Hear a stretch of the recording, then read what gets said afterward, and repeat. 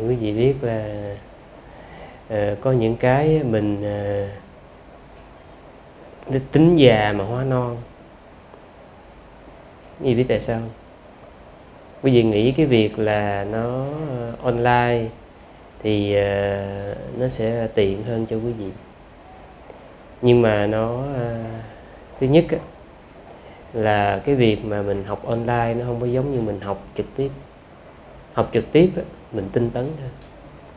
Học online thì ờ, mình rất là dễ vui.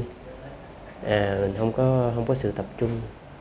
Quý vị sẽ nghe cái kiểu mà nghe chơi chơi thậm chí có khi có người vừa nghe vừa lướt facebook cũng có vừa nghe vừa chơi điện thoại. Cái sự tinh tấn tập trung nó không có giống. Một cái nữa là khi mà quý vị nghĩ là quý vị um, nghe online như vậy á, thì cái lớp mà cái lớp trực tiếp á, số người trực tiếp nó sẽ rất là ít. À, đó là lý do mà chúng ta từ cái chánh điện chúng ta chuyển qua bên đây. Tại vì khi cái số người mà quá ít thì chúng ta sẽ cần nhường lại cái à, cái vị trí tốt cho những công việc khác. Mà khi mà chúng ta không có cái à, thiếu đi cái cái cái vị trí mà địa lý nó à, nó đẹp á, thì quý vị thấy là cái cái số người mà tham gia sẽ càng ngày càng ít. Cái số người biết tới họ sẽ ít hơn. Thành ra cái việc mà mình không có tham gia, mình không có đi nó làm cho cái lớp nó không được lan tỏa. À.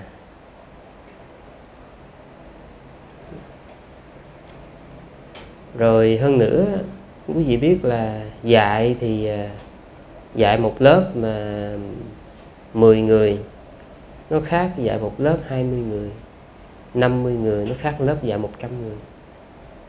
Cái số lượng mà người trực tiếp á, ngồi nghe nó có thể ảnh hưởng đến cái vị giảng sư.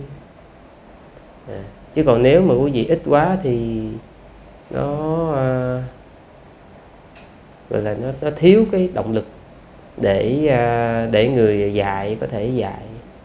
Hơn nữa thì à, đôi khi mà quý vị thì ừ, như thế thì có khi sư sẽ phải tự xem xét mình coi là cái khả năng dạy của mình có vấn đề gì hay không tại vì nếu, ừ, nếu như mà khả năng sư dạy có vấn đề à, thì nó mới dẫn đến cái tình huống là người ta không có muốn đi học nữa à.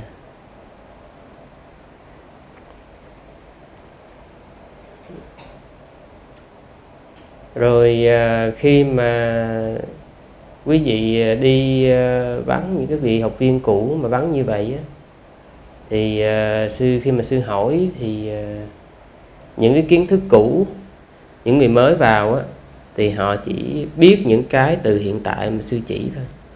Còn những người cũ mà sư muốn hỏi hoặc là sư muốn làm bài kiểm tra gì đó thì chất quất trong khi đó bài kinh số 10 Ờ, bài kinh ờ, đại niệm xứ này cái thời gian học rất là dài.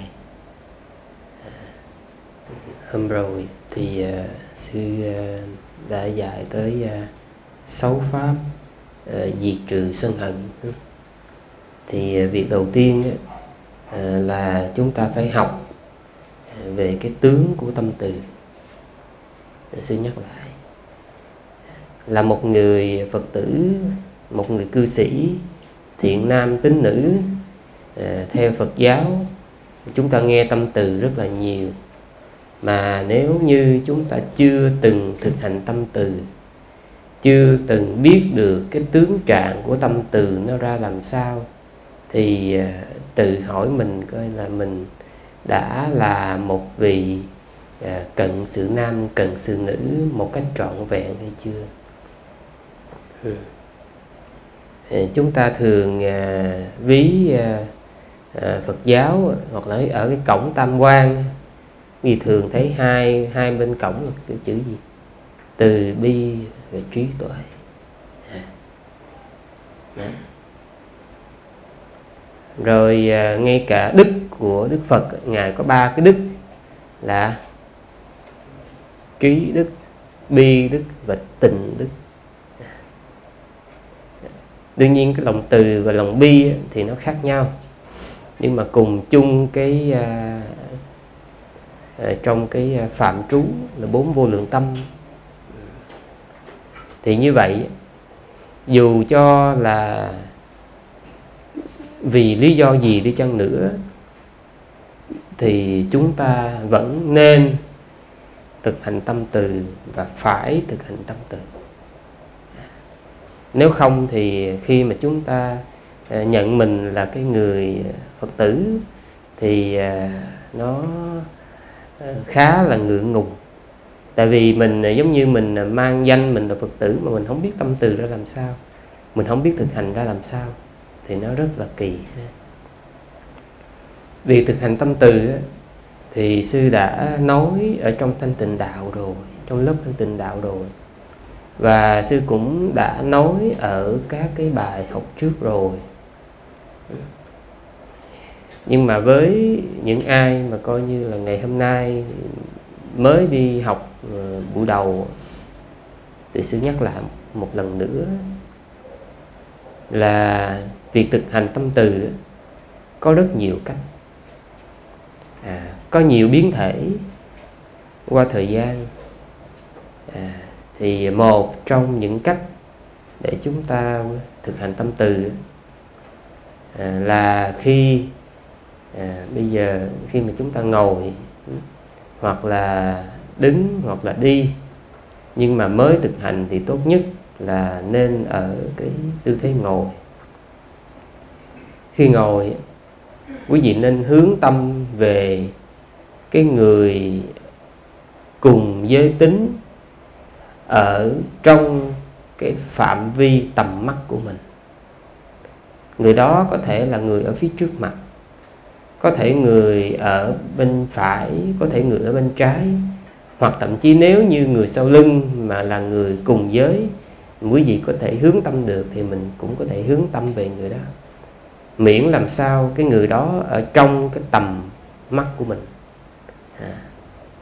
rồi à, chúng ta suy tư. À, đây à, cái người này trong à, quá khứ họ từng là con ruột của mình. Rồi từ đó, đó chúng ta suy xét là do dòng sinh tử luân hồi rất lâu rồi chúng ta không được gặp lại. Và giờ đây thật là một sự hiếm hoi à, mà ta gặp lại được đứa con này đây là một đứa con bị thất lạc nhiều năm. À, cho nên à, vì như là lòng từ của người mẹ à, dành cho đứa con duy nhất chúng ta hướng tâm đến à, người con đó và thật lòng mong cho người đó được an vui. Trong suốt thời thiền chúng ta liên tục làm như thế tức là hướng tâm về người đó và mong cho người đó được an vui liên tục. Thì khi mà quý vị liên tục à, thực hành như vậy đó à, tâm của quý vị nó sẽ có cái trạng thái của tâm từ. Và như vậy quý vị sẽ nắm bắt được cái tâm từ có trạng thái như thế nào. À, nó có cái tướng trạng ra làm sao chúng ta sẽ nắm bắt được à, thì nãy giờ khi mà quý vị nghe thì đó là sự học tức là sư nói cho quý vị nghe thì đó là cái sự học à. thì khi mà chúng ta nắm được cái tướng trạng tâm từ rồi đó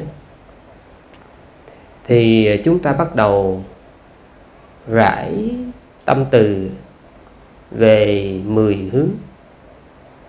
À, nếu như mà quý vị à, học à, giống như là học à, à, địa lý mà định định hướng thì hồi xưa giờ mình được học là phía đông là bên phải phía bắc là phía trước mặt cũng được không sao cả. Thì quý vị có thể quy định là à, phía đông là bên phải thì chúng ta bắt đầu rải tâm từ phía đông. À, hướng tâm của mình hết về phía đông với tất cả người cùng giới tính với mình. Ví dụ như là người nam hoặc là người nữ, người cùng giới tính với mình, hướng tâm về hết tất cả người ở phía đó, quán tưởng họ như con ruột của mình và mong cho họ được sự yên vui. Cho tới chừng nào quý vị còn có thể duy trì được cái tâm từ cái trạng thái tâm từ thì vẫn tiếp tục nên hướng về phía đó. Nó có thể là 5 phút 10 phút 15 phút nửa tiếng một tiếng không vấn đề gì cả. Một hướng thôi. Rồi sau đó, đó chúng ta tiếp tục hướng đông nam hướng nam hướng tây nam hướng tây tây bắc bắc đông bắc phía trên phía dưới. Tuần tự như vậy chúng ta làm từng hướng không nên vội. Chúng ta làm từ từ thôi không nên vội. À. còn nếu mà theo ở à, một số người chọn hướng đông phía trước mặt cũng được. Nói chung á, nó chỉ là cái danh từ chế định thôi. Để chúng ta xác định 10 hướng thôi. Chứ cũng không cần phải nhìn là hướng đông làm đánh dấu mặt trời hướng nào cũng không cần thiết nó chỉ là chế định để chúng ta rải tâm từ hết cả mười phương. Rồi sau đó, thì à, sau khi chúng ta rải được hết rồi thì à, chúng ta rải cho loài người nói chung tiếp tục rải cho loài người nói chung. Và khi rải cho loài người thì à, lúc bây giờ là không còn phân biệt nam nữ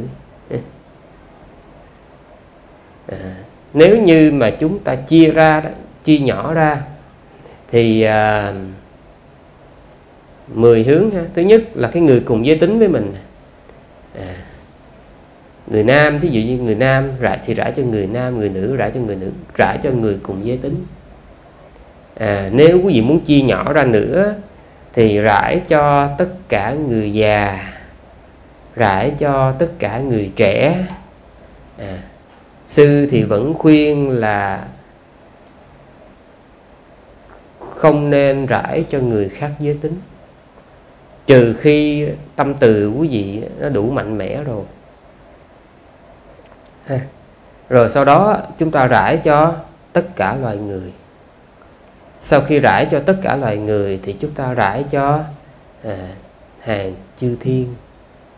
Sau khi rải cho chư thiên chúng ta rải đến cho à, phi nhân. À, sau khi rải cho phi nhân chúng ta rải cho tất cả phàm. Sau khi rải cho phàm chúng ta rải cho tất cả thánh. Đó. Thì à, đó là cái cách à, rải tâm từ cho mười phương không phân biệt nam nữ. À.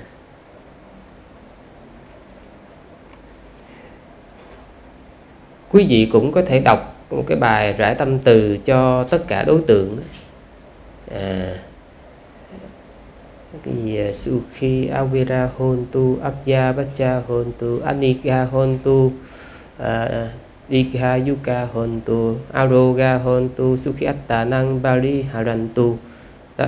thì à, cái bài đó nếu quý vị đọc thì cũng được nhưng mà do cái giới hạn của cái buổi học cho nên sư không thể nào mà đọc à, hết cái bài nhưng mà nếu mà quý vị học thì nó học được nó cũng hay. À,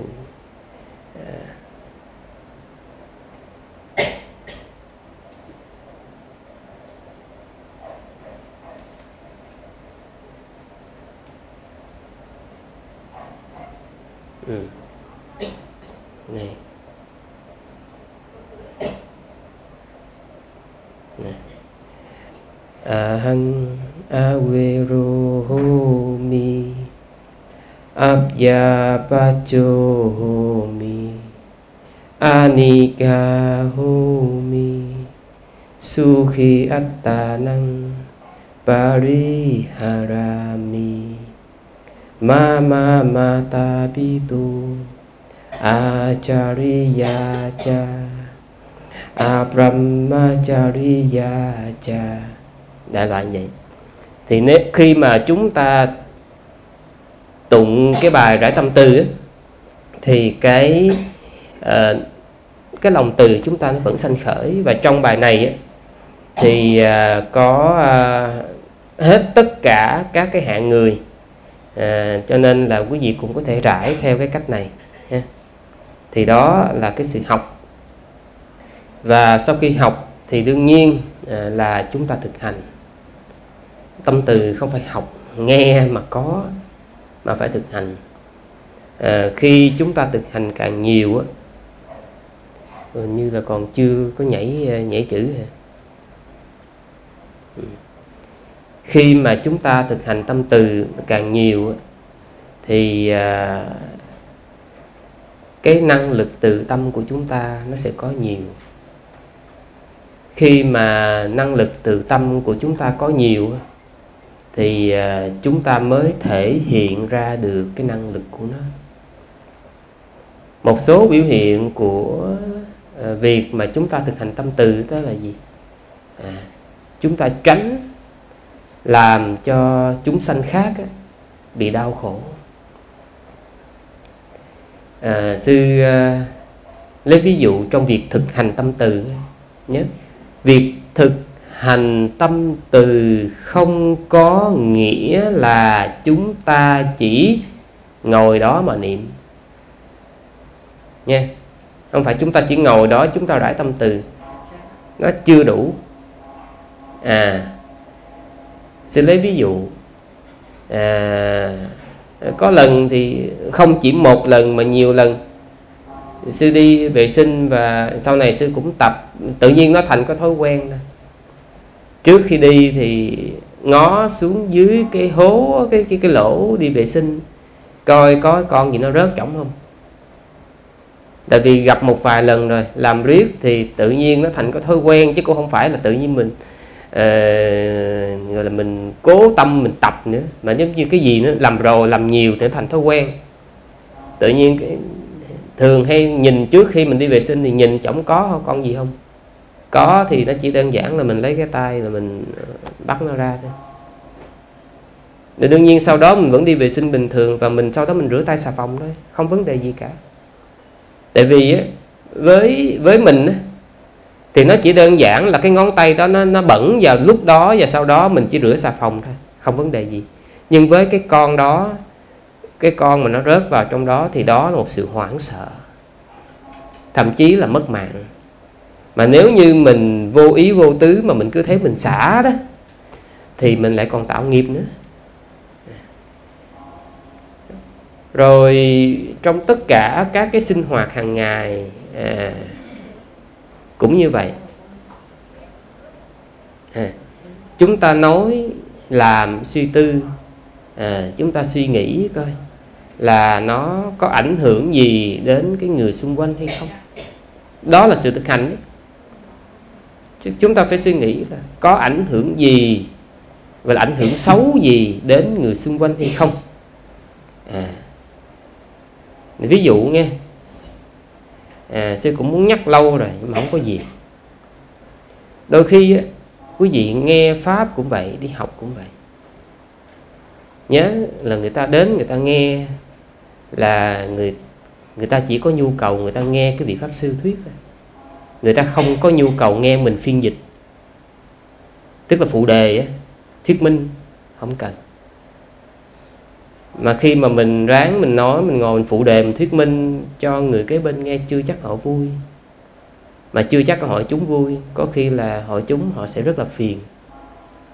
À, cho nên khi mình chuẩn bị mình nói mình phải suy nghĩ nó có ảnh hưởng gì đến người xung quanh có khiến họ phiền không? Nếu mà khiến họ phiền thì mình không nên nói. Thì nói ngay cả cái giới mà mình giữ hàng phật tử uh, hay cả một số vị sư cũng vậy. Khi mà mình giữ giới à, mình hay tự hào về cái đó. Rồi có đôi khi là mình hay khoe. Đụng tí là mình lôi giới ra nhưng mà khi mình nói như vậy, mình có lòng từ không? Mình có nghĩ là nếu như cái người nghe, những người sống xung quanh họ không có giới thì họ sẽ cảm thấy bị tổn thương. Có những cái mình biết là được rồi. Mình không cần phải nói thẳng ra, không cần phải vạch vạch ra cho nó rõ bởi vì như vậy nó sẽ khiến người khác bị tổn thương rồi mỗi lần mà mình nói điều gì đó mình làm điều gì đó mình phải có tâm từ ở trong đó. Để chi vậy? Để biết cái, cái lời nói và hành động này có ảnh hưởng đến người khác hay không?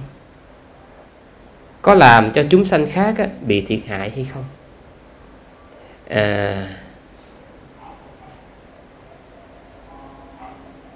sư lấy à, à, ví dụ đi bởi vì đôi khi quý phật tử không có biết không có phân biệt được. À, ví dụ như là sư à, à, tổ chức một cái khóa tu. Thì khi tổ chức khóa tu thì sư sẽ à, cái bếp là sư sẽ cho đi chợ cho một số vị để giao nhiệm vụ là đi chợ rồi nấu nướng. Nhưng mà sư có yêu cầu hơi đặc biệt mua nguyên vật liệu là phải vô siêu thị mua. Hoặc tương đương ví dụ như bánh quá xanh hoặc tương đương như vậy. Để chi vậy? Để nó có cái hóa đơn rõ ràng. Hai cái thứ nhất là đảm bảo vệ sinh an toàn thực phẩm cái thứ hai là minh bạch. À. Tại vì à, sư không muốn người ta đó vì cái chuyện đó sau này nó có kẻ hở rồi họ ăn chặn ăn bớt ở trong đó thì họ sẽ tạo nghiệp. Sư đã gặp rồi và từ đó trở đi là sư không bao giờ chấp nhận phương án là đi mua ở chợ mà phải đi vào trong siêu thị. Lòng từ mình thể hiện ở chỗ đó. Thể hiện ở chỗ nào biết không? Tức là mình không vạch mặt người ta. À, nhưng mà mình khéo léo mình thay đổi cái cách để cho không tạo điều kiện cho người ta tiếp tục làm bậy nữa chứ đôi khi quý vị, khi áp dụng tâm từ chúng ta bị nhầm như thế này nè thấy người ta làm sai, làm ác, mà mình sợ tác động, từ tác động người ta sẽ mất đi nguồn thu nhập, người ta sẽ mất nghiệp ta thất nghiệp thành ra đôi khi cái tâm từ mà mình xài á mình thiếu cái cái trí ở trong đó để nó được à, tốt đẹp. Và nãy giờ sư nói là nói về việc thực hành tâm từ bằng việc thực hành một cách tế nhị và tinh tinh vi chúng ta sẽ tránh được kẻ thù. Và đây là cái mục đích của việc là chúng ta diệt trừ cái sân hận.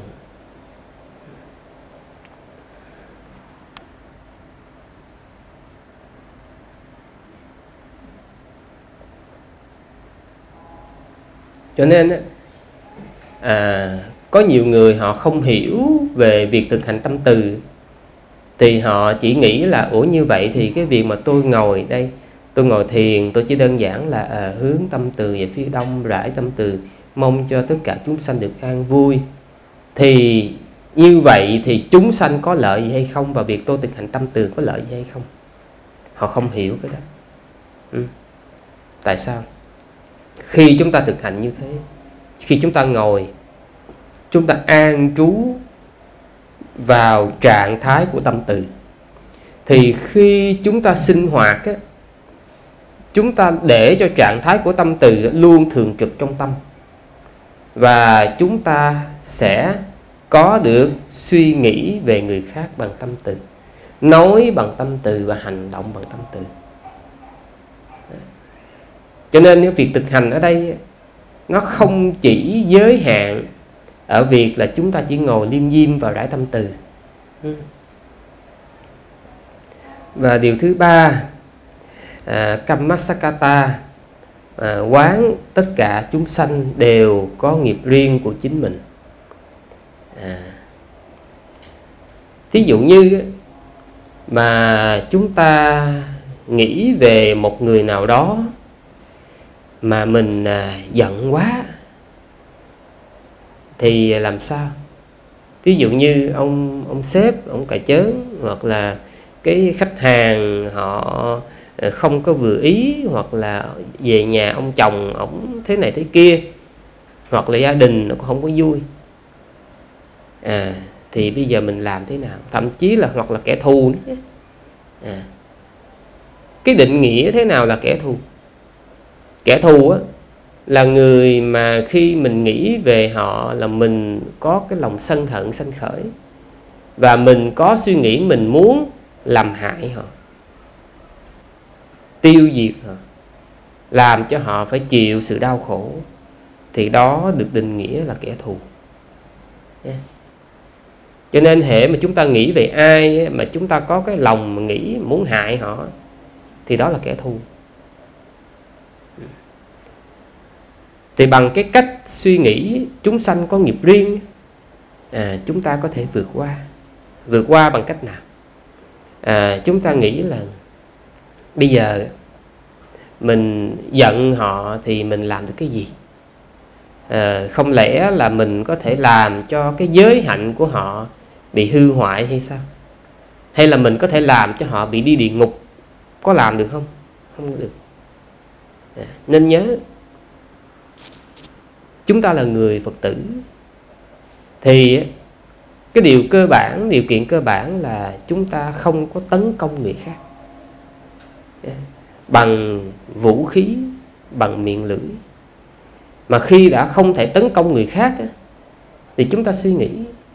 Rồi mà thậm chí nếu như mình có thể tấn công người khác đi nữa, thì mình có thể làm cho cái giới hạnh của họ bị hư hoại hay không? Không có. Mình có thể làm cho họ đi địa ngục được hay không? Cũng không có. À mà nếu như vậy thì mình giận họ để làm cái gì? Tại vì mình không thể làm hại được họ. Cái mình có thể làm thì chẳng qua là mình làm cho họ cái gì? À, mất danh tiếng mất lợi lộc à, hoặc ảnh hưởng đến thể xác thôi. Nhưng mà nên nhớ là à, ta ta đến do nghiệp của ta và ta, ta đi cũng do nghiệp của ta tức là đó mình đến đây đến chúng ta đến cuộc đời này là do nghiệp nó khiến cho chúng ta phải đi đến cuộc đời này. Và chúng ta cũng đi ra khỏi cuộc đời này chúng ta ôm theo nghiệp. Khi chúng ta đến chúng ta ôm cái nghiệp tới. Và khi chúng ta đi thì chúng ta ôm cái nghiệp đi. À, ta đi với nghiệp của ta dù cho tốt xấu tạo ra tự mình, theo ta như bóng theo hình, ta thọ quả báo phân minh kết thành. Nghĩa là chúng ta suy nghĩ nè, đời này mình nghèo là do hồi trước rồi cũng cũng tạo nghiệp. Mình đau khổ là cũng do cái nghiệp đời quá khứ. Mà mình có cái nghiệp của mình mà bây giờ mình đi, mình cũng sẽ ôm những cái nghiệp mà mình đi theo nó. Nếu mình làm ác, thì chắc chắn là mình sẽ đi đến cảnh giới bất hạnh. Mình làm thiện, thì chắc chắn mình đi đến cảnh giới an vui. Như vậy đó, thì tại sao mà mình phải làm ác? Đúng không? Nó giống như là chúng ta à, lựa chọn lấy một cái người à, người bạn mà sẽ đi đến cuối cuộc đời của mình. Thì ai cũng muốn là lựa một người bạn lành chứ không ai muốn lựa một người bạn ác. Vì à, gần người trí như gần người thân mà gần kẻ ngu như gần kẻ thù. Thì cũng vậy đó người đi với thiện nghiệp á, thì được chào đón như là người thân à, chào đón người thân ở xa mới về. Mà cái ác nghiệp á, nó chào đón chúng ta giống như là kẻ thù chào đón kẻ thù. Như vậy thì hãy suy nghĩ suy nghĩ lại xem à, có đáng để cho chúng ta phải tạo nghiệp vì cái con người này hay không? Bởi vì chắc chắn là mình đi với nghiệp của mình. Cho nên à, cái suy nghĩ tiếp theo nữa thì à, sự hận thù như người có ý định đốt lấy đống tro tàn không còn ngọn lửa hoặc thanh sắt nóng và phân vân vân để tấn công ném vào người khác. Có nghĩa là sao? Có nghĩa là giống như chúng ta hốt lấy cái đống tro và chúng ta quăng đi ngược gió. Thì khi đó đó chúng ta là cái người hưởng trọn cái đó. Hoặc là một cái đống tro nó không nó không có cháy được nữa mà mình cố mình đốt nó cũng không có tác dụng gì. Hoặc nó giống như một cái thanh sắt nóng đỏ à, mà mình cầm mình ném lấy người khác. Thì trước khi nó ném trúng người khác mình là người phỏng trước hay là nó như một đống phân trước khi mình cầm mình ném đến người khác thì mình là cái người bị dơ tay trước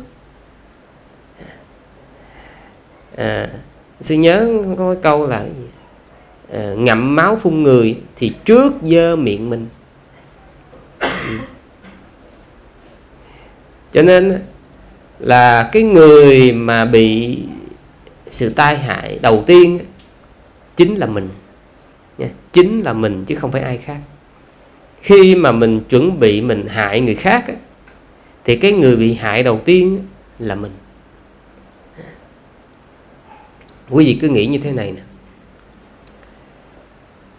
Bây giờ mình muốn người khác bị cái ờ, à, gì thí dụ như mình muốn kẻ thù á, bị cái gì bị cái điều xấu gì thì mình sẽ phải chịu cái điều xấu đó gấp trăm gấp ngàn lần. Thì quý vị có chịu không? Ví dụ như là mình ờ, sẽ bị ờ, đánh một ngàn cái roi một trăm roi một ngàn roi để đổi lại kẻ thù bị đánh một roi. Có chịu không? Như không ừ, tự nhiên chơi dễ lỗ quá Thấy không? Hoặc là mình mình phải mất 100 triệu thì kẻ thù nó mới mất được 1 triệu. Mình mất 1 tỷ thì kẻ thù mới mất 1 triệu hình như nó chơi chơi, chơi lỗ quá. À. cho nên á, khi chúng ta suy nghĩ được như thế thì à, chúng ta thấy không có đáng. Ừ. Đó là chưa kể sư nói nhiều người họ giận giận người ta họ đem cái giận đó họ về họ chúc cho cái người yêu thương mình. À, bực bội công chuyện ở gia đình à, ở à, à, công ty hãng xưởng à, về trút cái giận đó cho người thân. À, thì có phải là mình ờ, à, dạy không?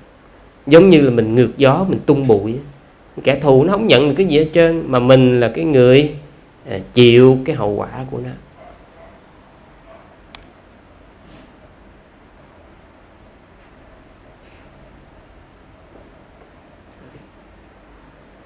Rồi chúng ta lại suy nghĩ. Bây giờ à, ngược lại bây giờ nếu như mà nó thù mình á cái kẻ thù nó thù mình á, thì nó làm gì được cho mình? Nó làm gì được mình? Nó có thể làm cho mình bị hư hỏng về giới hạnh hay không? Hình như không à. Thì à, kẻ thù á nó giỏi lắm thì nó có thể làm cho mình bị cái gì? Bị à, thất bại về danh tiếng à, bị tai tiếng. Mà xin thưa là nam mô ngã phật từ bi phật còn bị hại nói chi thầy chùa. Đúng không? Phật còn bị nàng chinh cha ngài vu khống vu oan mà. À. Cho nên cái chuyện mà gọi là tai tiếng hay danh tiếng à, nó chỉ là cái bên ngoài thôi hơn nữa nếu như mà người ta chửi mình thì mình xét như vậy nè. Cái người ta chửi là đúng hay là sai? À, nếu người ta chửi là đúng thì mắc gì mình giận? Chửi đúng mà. Đáng rồi. Mình có làm nó chửi mình đúng là đáng rồi. Mà nếu như nó chửi sai á thì cũng mắc gì mình giận? Đâu có chửi chúng mình đâu. Đúng không? Ừ. chửi chúng là đáng tội mà chửi sai thì không có chửi chúng thì mắc gì giận. Khi mà mình nghĩ được như vậy á à, thì mình có thể tiêu tan. Tiêu tan sự hận thù. Bởi vì nói gì thì nói. Cái kẻ thù họ không thể làm hư hỏng cái giới hạnh của mình. Cái giới hạnh của mình đó mới là cái quan trọng nhất. Ừ. sư ờ, sư lấy làm lạ là một số người thí dụ như là bình thường đang yên ổn đang yên ổn 30 tuổi rồi à, không có lấy ờ, không có lấy chồng thì mấy cái bà mà hàng xóm mà đọc mồm đọc miệng mà nói đứa này nó nó có vấn đề nó nó có vấn đề, nó mới nó mới ở giá. Thì ta nói thì kệ cha người ta. Đúng không? Không. Tức. Lấy cho bỏ tức. Nó lạ. Ừ. mà lấy lấy chồng rồi, không có ờ, tính là thôi, cũng không muốn muốn sanh con chi. Mà mấy bà bà nói nữa, thấy chưa? Cây độc không trái gái độc không con. Thì thế là một, hai là cũng phải sanh đứa cho nó, cũng không, gọi là cho cho bằng vừa lòng mấy bà mà nó ngộ. Cái người khổ là mình chứ mấy bà bà chỉ sướng cái miệng thôi. Người ta đâu có đâu có làm gì đâu, người ta chỉ sướng cái miệng. Đó. Rồi tới hồi mà đẻ con ra đó, đẻ con ra thì ở kiên, ở cử thì ông chồng ổng lăng nhăng. Thì lúc đầu cũng nhịn thì nhịn cho nó qua chuyện. Mà không cũng mấy bà mà nó cái cái, cái đứa cái gì ờ, ờ, chồng nó nó, nó, nó đi đi ờ, ngủ với con khác mà không có không có đánh ghen. À thế là bà cũng phải đặt bà, bà, bà, đi, bà đi đánh ghen.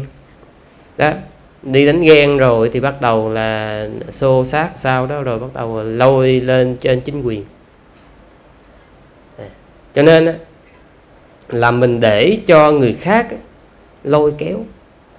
Cũng chỉ bởi vì cái sự sân hận. Thành ra mình phải suy nghĩ là cái người mà họ họ thu mình, họ làm gì được mình? Nhớ nha, họ giỏi lắm, họ chỉ có thể làm cho mình bị tai tiếng do sự đồn thổi. Mà nếu như do sự đồn thổi nếu như họ nói đúng thì đáng tội rồi, mắc gì mình phải giận mà thứ hai là nếu họ nói sai thì không giống không đúng với mình mắc gì mình phải giận. Cái thứ hai á, là họ chỉ họ có thể làm mình bị mất mát tài sản.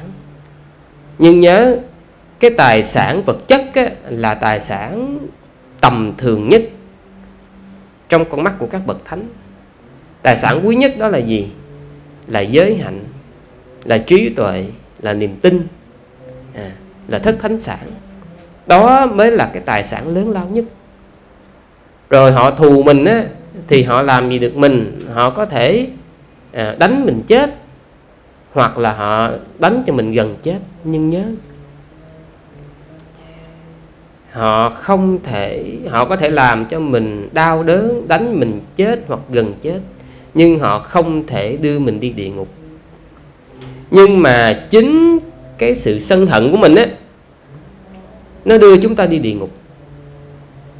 À, sư từng có dịp à, tham quan ở một số à, một số cái trại à, tập trung. Mà ở đó cái người à, cái người gọi là cái cái người cai ngục á, thì họ dùng đủ mọi cách để mà họ à, họ tra tấn cái cái cái người mà bị nhốt bị tập trung vào ở trong đó sư nhìn cái gì biết sư thương. Sư thương cả hai. Chứ không có giống như người ta người ta nhìn vô, người ta chỉ có sự hận thù thôi. Nhưng sư nhìn vô là sư thương. Tâm từ phát khởi, sư thương cả hai. Thương thứ nhất là thương cái người cai tù. Họ tạo ác nghiệp và sau đó họ sẽ phải đi xuống các cảnh khổ thương thứ hai thì mới là thương cho những người ở trong đó. Bởi vì khi họ bị tra tấn như vậy họ không có sự tu tập họ chỉ sống trong sự hận thù. Mà nếu họ sống trong sự hận thù thì khi thân hoại mạng chung họ vẫn sẽ đi xuống. Tức là đó là một nơi mà không ai thắng cả. À, là một cái sự kiện mà không một ai thắng tại vì mọi người đều dắt nhau đi xuống hết và tiếp tục tạo cái nghiệp bất thiện tạo thêm những kẻ thù cho đời sau kiếp khác. Cho nên khi mà có ai đó à, gọi là hại mình thì chúng ta nên nghĩ là họ không thể động đến cái giới hạnh của mình cái phạm hạnh của mình. Mà đó là cái mình phải giữ. À. còn um, rồi chúng ta suy nghĩ họ đi với nghiệp của họ à nghĩa là sao? Nghĩa là tự bản thân họ có cái nghiệp của họ rồi tự cái nghiệp đó xử họ rồi. À, một trong những cách mà khiến chúng ta vượt qua được sự sân hận là cứ nghĩ nghiệp nó xử nó rồi. Nha. À, nó làm ác nghiệp nó xử nó rồi. Mình không cần phải làm gì cả. À, tại vì mình làm thì mình đâu thể đưa nó đi địa ngục được mà cái nghiệp đưa nó đi địa ngục rồi nhưng mà coi chừng mình nghĩ như vậy thì mình coi chừng mình nghĩ ác. Tức là chúng ta có cái lòng, một là cái lòng vui khi thấy chúng sanh chịu khổ. Tức là vui khi thấy người ta chuẩn bị đi địa ngục. Hai là có cái lòng mong mỏi họ đi địa ngục. Cái đó là tâm ác nha. Cẩn thận điều đó chúng ta chỉ nên nghĩ là họ có nghiệp của họ rồi. Nghiệp sẽ giải quyết điều đó, chúng ta không cần can thiệp.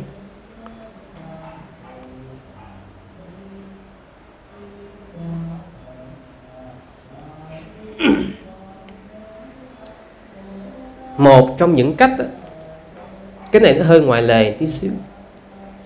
Một trong những cách tránh cho chúng ta có cái cái tâm ác là mặc dù chúng ta không có làm hại kẻ thù mình không làm hại họ mình không mắng chửi họ nhưng mình có cái sự thích thú khi nghĩ là họ sẽ phải chịu cái quả ác.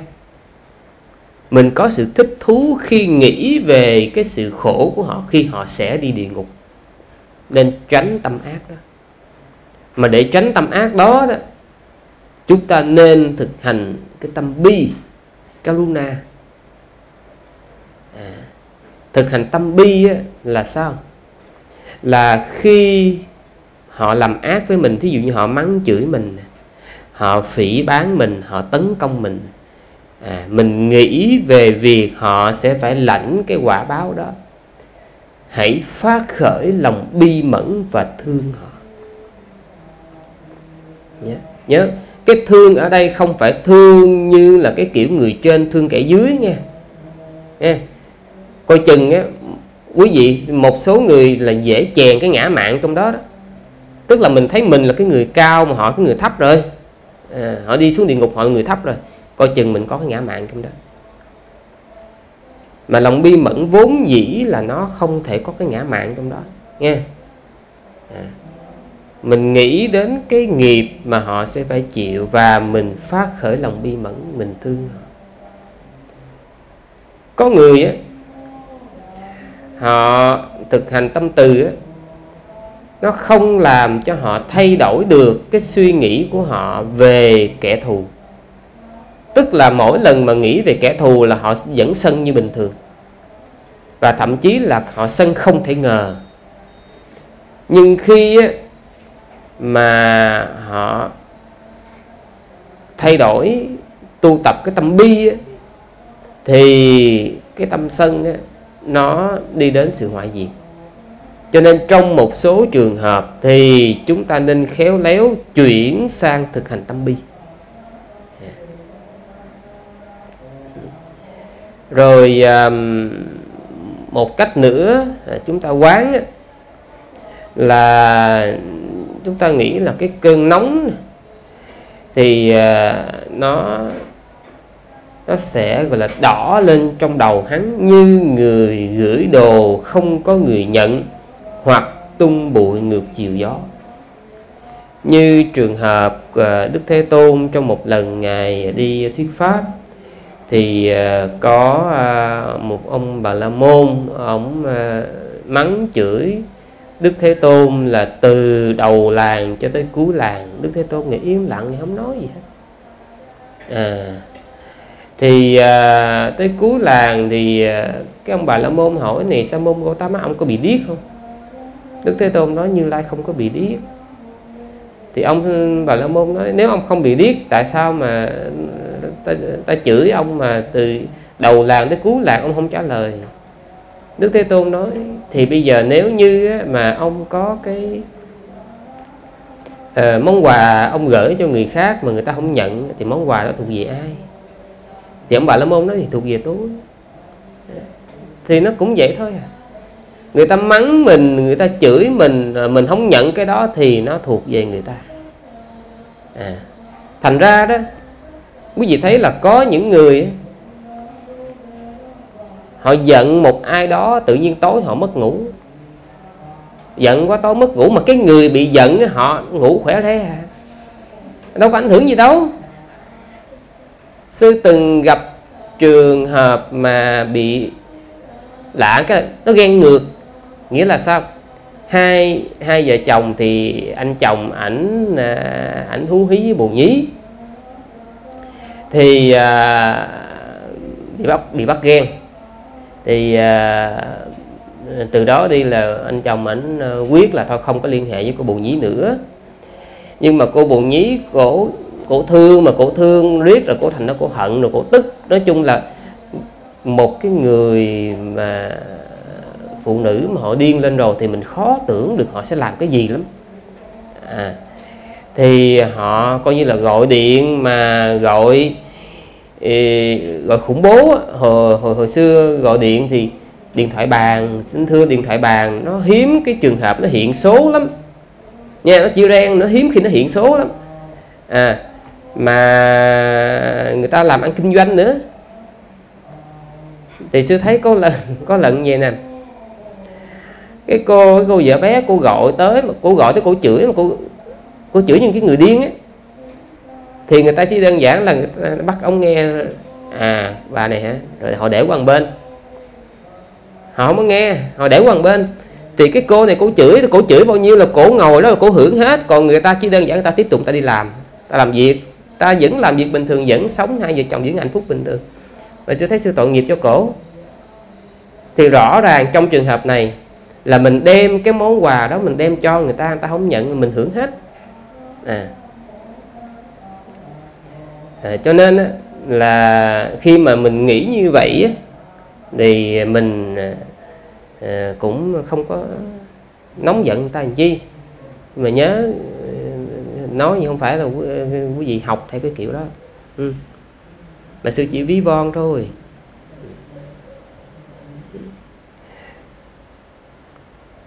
Rồi um, hoặc như tung bụi ngược chiều gió cái này là nó dính đến một cái trường hợp câu à, pháp cú. À, sư sư quên hình như là ngược như người ngược gió tung bụi ấy, à, là nhắc đến à, trường hợp là thì, à, đại loại ấy, là có um, có những người ấy, khi mà tấn công những vị có giới hạnh thì à, bản thân họ sẽ bị những cái nghiệp à, kinh khủng. Thí dụ như trong trường hợp ngài xá lợi phất khi mà ngài đang à, ngồi với ngài một tiền liên thì ngài luôn an trú trong tâm từ. Thì lúc bây giờ có một cái con dạ xoa nó mạnh lắm và nó tấn công ngài. Thì khi nó tấn công ngài như vậy nó đấm nó đấm rất là mạnh dồn hốt hết sức nó đánh. Mà cái sức con dạ xoa đó là nó à, nó đấm cái cái ngọn núi còn bị vỡ được. Nhưng mà nó đấm vô ngài thì giống như là có ai cái cái lá cây nó rớt trúng cái đầu ngài thôi. Chứ ngài ngài thấy ngài mới giật mình à, ngài mới nói cái gì vậy? Và ngay thời điểm đó là cái con dạ xoa đó nó bị thiêu đốt và nó rơi xuống địa ngục hay như trường hợp là vua trời ờ, đế thích thì trong kiếp quá khứ ông từng làm à, thanh niên. Câu chuyện cũng khá dài. Nói chung là ông và 33 chàng thanh niên là cùng nhau làm phước. Nhưng mà khi ông làm phước như vậy á, thì cái ông trưởng thôn á, ông không có được cái lợi ích gì cả. Tức là không ăn nhậu gì được trong cái vụ mà làm từ thiện này hết. Thì ổng mới bàn ra ông nói thôi ờ, tự nhiên cái ăn cơm nhà vác tù và hàng tổng chi? Đó rồi cứ lo ăn chơi đi ờ, đi săn bắn đi săn bắn rồi đi nhậu thì đi nhậu đi ca hát thì đi ca hát đi. Chứ ờ, ở không đâu làm ba cái chuyện này. Nhưng mà cái nhóm những chàng thanh niên này không có nghe từ chối. Thì à, cái ông trưởng làng ổng mới đi ổng mà sàm tấu với nhà vua. Thì khi ổng sàm tấu nhà vua ổng sàm tấu là cái nhóm 33 chàng thanh niên này nè là tụ họp với nhau rồi chuẩn bị làm phản. Thì nhà vua nghe lời sàm tấu mới bắt 33 chàng thanh niên này à, cho cho voi nó dày à, nhưng mà khi mà con voi nó nó chuẩn bị nó bước tới cái nhóm 33 chàng thanh niên này nó dày á.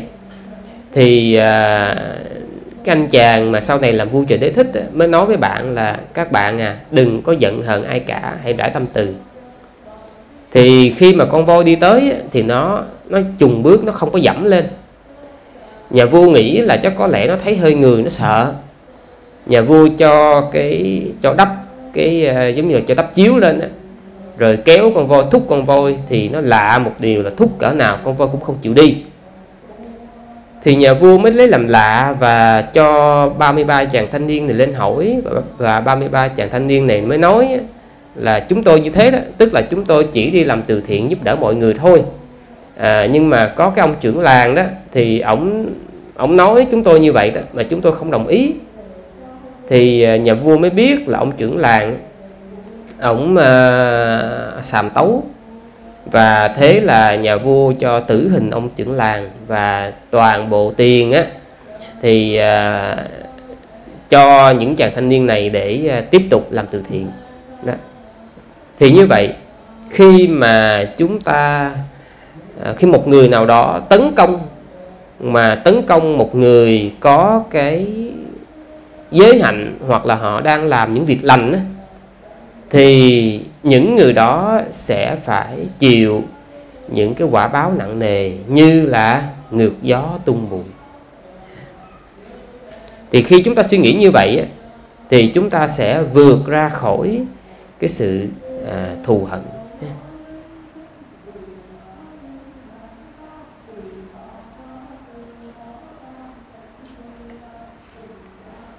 Rồi tiếp theo á, là Patisankha Nabahulata là phải quán thật nhiều quán xét cho thật nhiều về nghiệp. Tức là chúng ta phải à, quán à, mỗi chúng sanh à, có nghiệp riêng. Tức là mỗi chúng sanh có nghiệp của mình. Nhớ lúc nào cũng suy tư mỗi chúng sanh có nghiệp của mình. Mình có nghiệp của mình họ có nghiệp của họ. Cứ nhắc như vậy nhắc liên tục như vậy thì à, từ từ chúng ta sẽ vượt ra khỏi cái sự nóng giận cái sự sân hận ờ, thí dụ như mình nghĩ à, vợ có nghiệp của vợ chồng có nghiệp của chồng mình có nghiệp của mình ổng có nghiệp của ổng khi mà quý vị suy nghĩ như vậy á, là chúng ta đỡ được nhiều lắm à. rồi à, mình ví dụ như giận sếp thì sếp có nghiệp của sếp mình có nghiệp của mình. Là quý vị sẽ vượt qua được. Và khi nói như vậy là chúng ta phải thật sự tin như vậy ha. Rồi um, thứ năm là Kanya Namittata thân cận với thiện bạn hữu. Thì uh, nó cũng như những uh, như cái điều ở trên tức là chúng ta cần phải gần gũi những người ít sân hận à, gần gũi những người biết tu tập tâm từ. À. tránh gần gũi những người thô lỗ nghe. Tránh gần gũi những người mà thường hay nóng giận. Những người mà nặng về tâm sân á đặc điểm của họ dễ nhận biết thường là cái người ít kiên nhẫn là cái người nói năng thô lỗ, là cái người thường hay cầu toàn. Thí dụ như một cái toilet có thể họ chà một ngày năm lần cũng có. Ừ. cái người hay cầu toàn. À. thì đó là những biểu hiện của người mà nặng về sân chúng ta nên à, tránh gần gũi với họ. Sư từng gặp những người họ có tu tập tâm từ mà họ ở gần cái người tâm sân riết rồi đó họ nói chuyện như là họ quát vào mặt người ta. Tức là người đó vốn dĩ là nói chuyện rất là mềm mỏng. À, nhưng mà nói chuyện với những người mà nặng sân riết rồi đó thì họ nói giống như họ quát vào mặt họ. À, không có không có kiên nhẫn nữa. Thì à, cái bạn bạn hữu rất là quan trọng rồi à, Sapayakatha là nghe và nói những lời phù hợp. Tức là chúng ta chỉ nghe và nói những gì giúp cho chúng ta phát triển tâm từ. Tránh nghe và nói những gì nó làm cho chúng ta phát triển cái tâm sân. À. Ví dụ như những cái bài hát mà ca ngợi sự hận thù nè nên tránh những bài hát mà à, thất tình buồn đó ừ, nên tránh. Mà quý vị nghĩ coi. À, à, mấy cái bài hát trên mạng đa phần là bây giờ tôi thương cổ cổ không thương tôi thành ra tôi hát thành ra thành ra tôi buồn. À tôi thương cổ cổ cũng thương tôi mà tôi không lấy được cổ thành ra tôi buồn. À cô tôi thương cổ cổ thương tôi mà cô không lấy tôi cô lấy thằng khác thành ra tôi buồn à, tôi, tôi thưa cổ rồi tôi lấy được cổ mà sau này cổ lấy cổ lại ngủ với thằng khác thành ra tôi buồn. Nó quanh quẩn nó cũng có nhiêu đó à, à thì mà chúng ta nghe như vậy á, à, nó làm cho chúng ta tăng trưởng cái sự sân hận. Ừ. nó có thời kỳ mà cái bài như cái bài sách ta đây à, người ta nói là cái bài đó là cái bài à, quỷ ám. Tại vì à, khi người ta nghe là cái bài à, à, đó người ta tự tử nhiều lắm. Thì cái vốn dĩ là cái thời kỳ đó là thời kỳ châu Âu cái thời kỳ đen tối thời kỳ công nghiệp. Người ta bị cuốn vào cái guồng máy người ta làm việc rất là căng thẳng. Thì cái bài đó nó chỉ đơn giản là nó kích thích cái nỗi buồn cái sự suy nghĩ tiêu cực thôi. Cho nên khi mà chúng ta nghe những cái bài hát mà nó đẩy cái tâm tình tiêu cực của mình lên á, thì nó sẽ đưa mình đến những cái quyết định tệ hại. Thành ra phải tránh những điều đó. À. nhưng mà điều đó không có nghĩa là chúng ta cứ nghe những cái uh, bài hát mà nó làm tăng trưởng tâm tham nha. Ví dụ như là chúng ta mở tiktok rồi ngó mấy cái người mà uh, nhảy nhót hay là uh, nghe cái gì k-pop rồi đó cái đó không phải nhớ, nghe và nói điều phù hợp ở đây là nghe và nói những gì giúp cho chúng ta phát triển từ tâm, chứ không phải giúp cho chúng ta phát triển tâm tham ừ.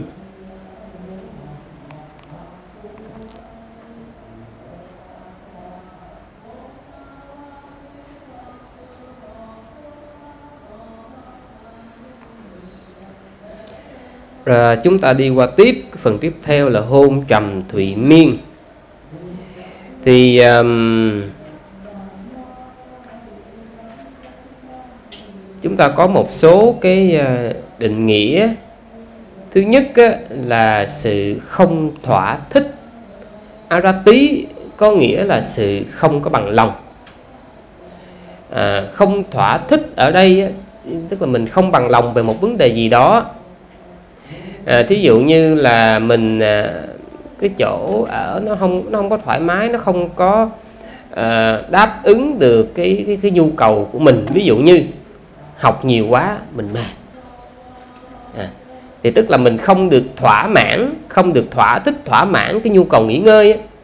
à, thì nó sẽ khiến cho cơ thể mình à, mệt mỏi. À, muốn ngủ muốn nghỉ ngơi rồi à, sự mệt mỏi tanh đi tức là sự uể oải của thân. Rồi sự ngáp ngủ à, quý chăm phi ca tức là sự uống mình cái này đơn giản nha.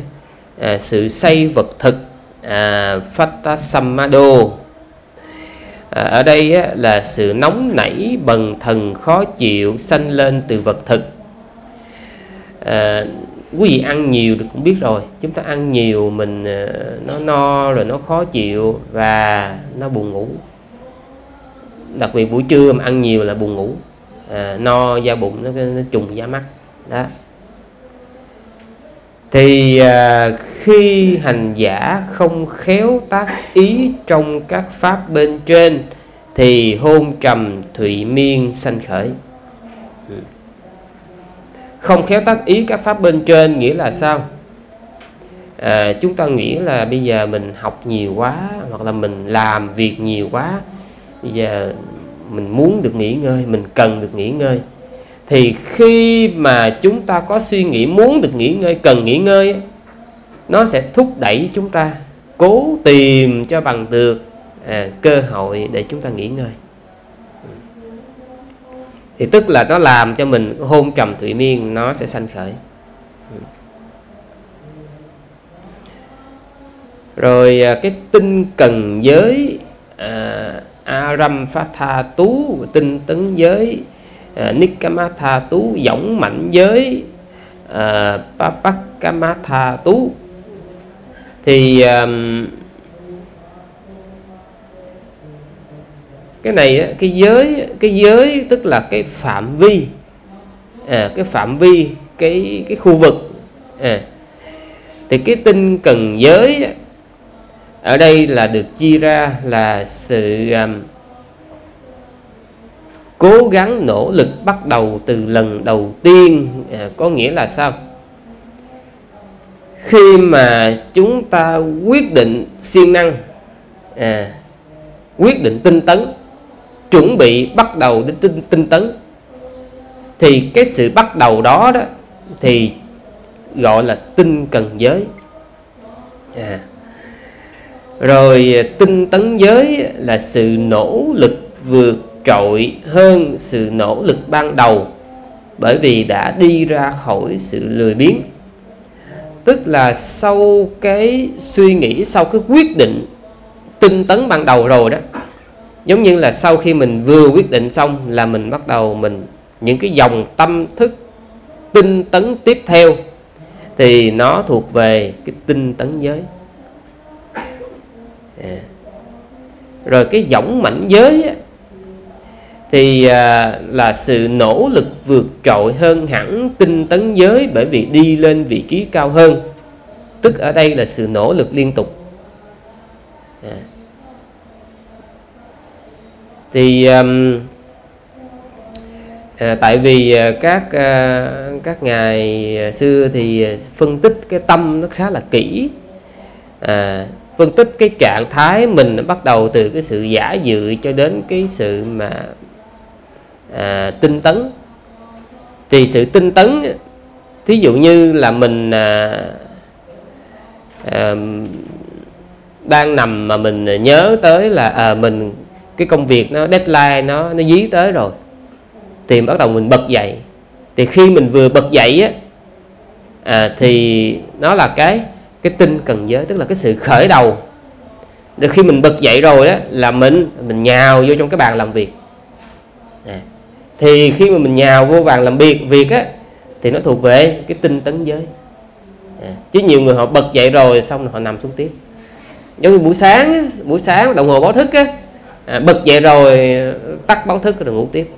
À cho nên á, cái việc là mình nhào ra đó à, thì nó thuộc về cái tinh tấn giới.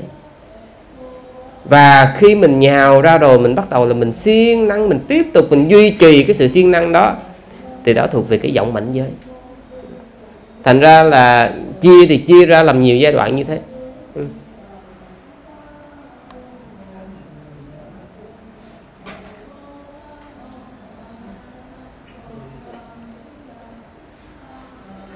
Thành ra là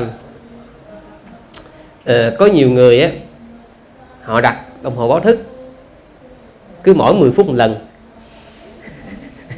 Không biết ở đây có ai không? 10 phút một lần. Và thật sự mà nói thì sư cũng rút kinh nghiệm rồi. Thay vì mình đặt 10 phút một lần như vậy á cách tốt nhất là mình đặt hẳn một lần một thôi còn, còn cái lần đó nó sát giờ luôn. Thì tức là vô cái giờ đó không dậy là trễ là mình sẽ bật dậy. Chứ còn mà mình cứ nghĩ ờ, nằm thêm 10 phút nữa nằm thêm 10 phút nữa là nó nó đi luôn. À. Rồi um, cái hôn trầm thủy miên á, được đoạn trừ do khéo tác ý nhờ tinh cần giới tinh tấn giới và giọng mạnh giới. Tức là khi chúng ta khéo suy tư à, về cái sự nỗ lực tinh tấn á, thì à, chúng ta sẽ à, vượt ra khỏi cái sự hôn trầm thụy miên. Ví dụ như, mình biết mình có cái tật mình lười, thì cái đồng hồ báo thức á, mình đừng có đặt ở kế bên mình. Tức là trong cái tầm tay của mình đừng có đặt kế bên mình. Mình phải đặt xa ra. Để mà mình muốn tắt nó là mình phải đứng dậy. Đó. Chứ còn để kế bên là mình ngủ tiếp ừ. rồi um, chúng ta có sáu pháp đoạn trừ hôn trầm thụy miên. Ừ. À, thứ nhất á, là atifo chane nimittagaho à, lấy tướng nếu mà dịch sát là lấy tướng trong việc thọ dụng vật thực quá mức mà hoặc là nói cách dễ hơn là mình chi túc trong vật thực. Tức là ăn uống vừa đủ thôi. À, tránh ăn quá no. Thì ở uh, tránh ăn quá no thì quý vị biết rồi là chúng ta còn 4 hoặc 5 miếng nữa thì ngưng. À. rồi cái thứ hai đó là Iriya tanata tức là luân phiên thay đổi oai nghi ừ. nghĩa là khi mà quý vị hành thiền á mà chúng ta bị uh, hôn trầm thủy miên tức là buồn ngủ á, thì không có nên tiếp tục ngồi ở đó nữa à, đầu tiên là chúng ta có thể thử à, xoa bóp cơ thể nè thay đổi từ đổi chân các thứ nè à còn không được nữa thì mình nên chuyển ra chỗ khác. Ví dụ như ngồi à, à thôi cái này nó nó nằm à, nằm ở cái phần tiếp theo rồi. Thì à, thay đổi oai nghi ở đây là chúng ta có thể đứng dậy chúng ta đi thiền. Hoặc là chúng ta đứng thiền. À, chứ không nên ngồi nữa. À thì nhờ việc đi thiền á à, chúng ta sẽ vượt qua được à, sự hôn trầm thủy miên.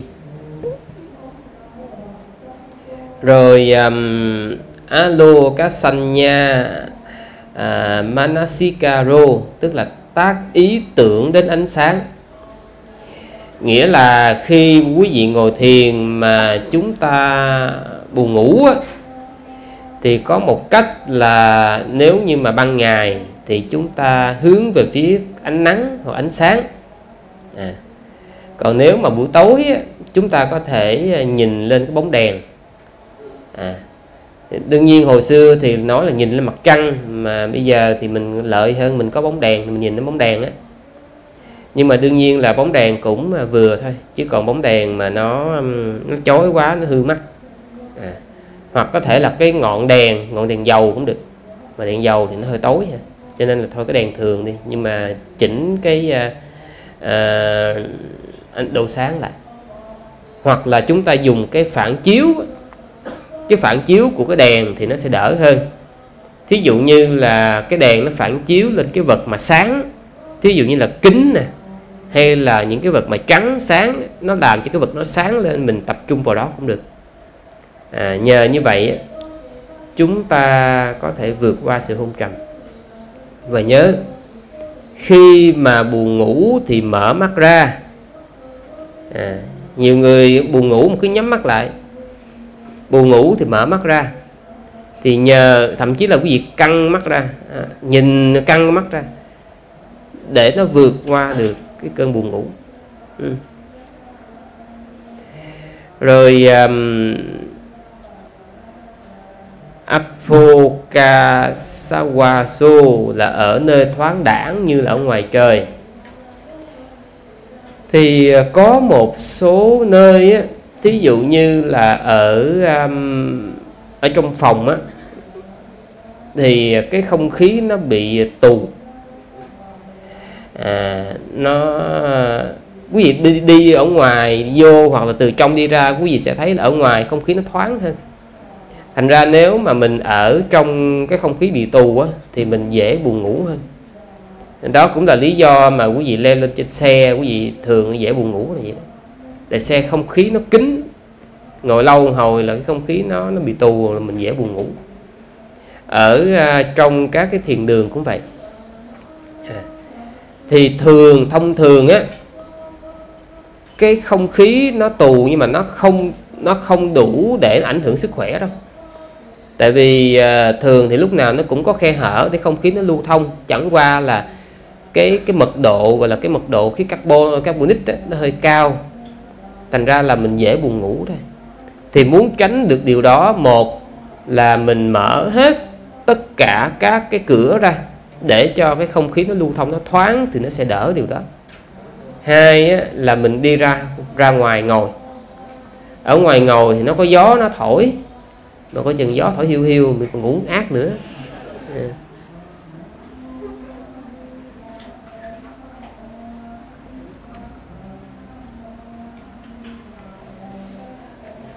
rồi um, canh gia namittata thì như trên hay là thân cận bạn lành?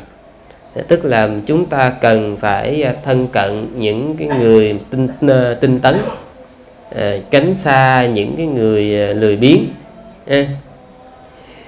à, có những nơi á, mà mình à, vào ở mà sáng dậy thì ờ, không thấy ai lên tụng kinh hết. À, thì ban đầu mình còn siêng mà có hôm mình lỡ mình ngủ trễ mà lỡ ngủ trễ hai ba hôm đó thôi khỏi lên luôn. À. đó. Thì khi mà cái cái hội chúng ở đó mà họ họ lười mình cũng lười chung luôn. Nhưng mà cái hội chúng mà tới giờ mọi người đều đi lên tụng kinh hết trơn mà bây giờ có mỗi mình mình mình nằm ở tại chỗ thì mình sẽ à, mình sẽ xấu hổ. À, còn không á, còn nếu mà cái mặt mình dày quá à, thì à, cũng sẽ có người nhắc nhở. Đó. À, cho nên là chúng ta cần phải gần gũi những cái người tinh tấn. Ừ. rồi à, Sabba Jakatha là nghe và nói những lời thích hợp. Cái nghe và nói những lời thích hợp ở đây á, là chúng ta phải nghe và nói những bài kinh nào thúc đẩy sự tinh tấn. À, ví dụ như à, những cái bài kinh nói về sự nguy hại à, của cái dòng sanh tử luân hồi. À, chúng ta phải biết sợ. Hoặc là à, quý vị có thể tham khảo cái ờ, tinh tấn giác chi ấy. sư nhớ là sư có giảng rồi những cái pháp mà giúp tăng trưởng tinh tấn giác chi trong thức giác chi sư nhớ sư có giảng rồi. À, một ở đây hai là trong thanh tịnh đạo sư giảng rồi. Đó. thì à, hoặc là những cái bài kinh à, giúp cho à, chúng ta biết sợ cái dòng sinh tử. Hoặc là những bài kinh mà mang mang cái tác dụng là thúc đẩy. À, ví dụ như là à, này các tỳ kheo à, việc cần làm thì như lai vì lòng thương tưởng đã làm cho đệ tử hết rồi à, hãy đây là gốc cây đây là ngôi nhà trống hãy tinh tấn à, hành thiền đừng để sau này phải hối tiếc à, đó. đó là lời à, di huấn của như lai này các tỳ kheo các hành là vô thường à. thì à, khi mà chúng ta suy nghĩ như vậy đó thì chúng ta có cái lòng tinh tấn. Hoặc là chúng ta suy nghĩ về các cái cảnh khổ như là như sư nói rồi vị tỷ kheo suy tư về uh, cái uh, cái khổ trong địa ngục uh, rồi suy tư về uh, các cảnh giới sa đọa. Ví dụ như uh, 4 giờ uh, 4 giờ sáng uh, mình còn nằm ườn đó đó mình nghĩ là cái giờ này á, là heo nè bò nó sẽ bị kéo ra cái lò giết mổ mà bây giờ nếu mình nằm như vậy nè, thì à, không xa, thì sắp tới mình nhắm mắt mở mắt mình nằm trong chuồng heo thì 4 giờ nó cũng lôi mình ra cái giết mổ rồi. À, hoặc là à, khi quý vị đi xe đò có, hoặc là đi xe có bao giờ là quý vị à, thấy à, mấy cái xe chở heo à. Mà thường á, cái người mình mình thường hay dễ vui, mình không có suy nghĩ. Quý vị có bao giờ quý vị nghĩ là cái xe chở heo đó trong tương lai không xa nó sẽ chở mình mình là con heo trong trong tương lai không xa mình sẽ là nhân vật ở trong đó. Mà như vậy mình còn không chịu tu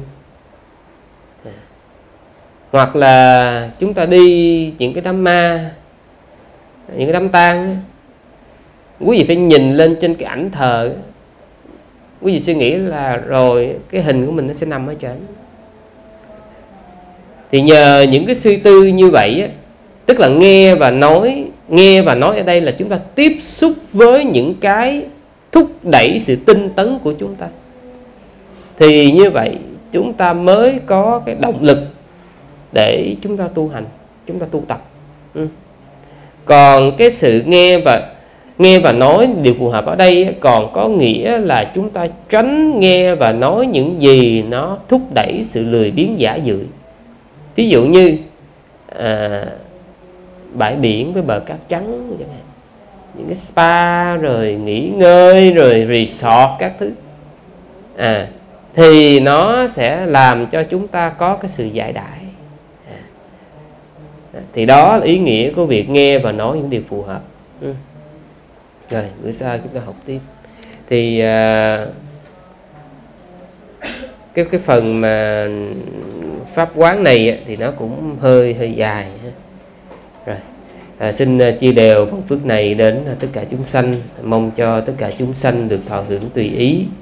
Sau khi thọ hưởng rồi được thoát khỏi những điều thống khổ được kết quả làm người quả trời cùng quả niết bàn nguyện cầu tam bảo từ hàng đồ.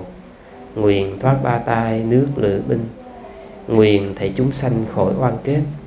Nguyện cho nhân loại sớm tu hành. Nguyện dình tâm học giới định tuệ. Nguyện đoạn tham sân si độc sanh. Nguyện giải căn nhân sanh tử khổ. Nguyện diệt tâm tham háo lợi danh.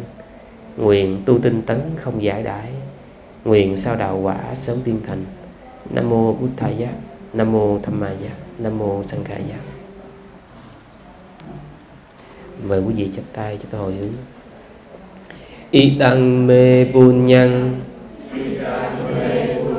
Nippanasa Pakchayu Hotu Imang no Punya phagang Sabba sattanang දේම සාදු සාදු සාදු